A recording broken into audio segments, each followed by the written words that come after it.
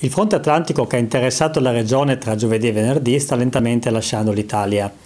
Da sabato comincerà a rimontare un anticiclone sul Mediterraneo e sulla nostra regione dunque il tempo diventerà via via più bello, più stabile con un'impronta quasi estiva.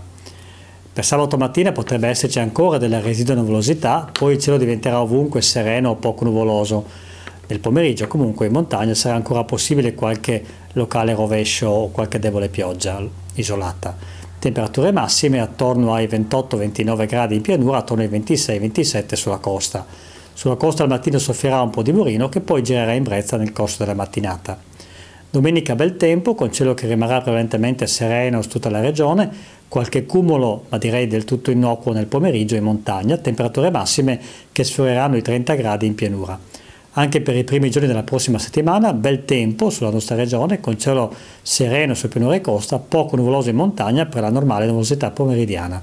Ancora temperature massime attorno ai 29-30 gradi sulla pianura e sulla costa. È tutto, buona fine settimana.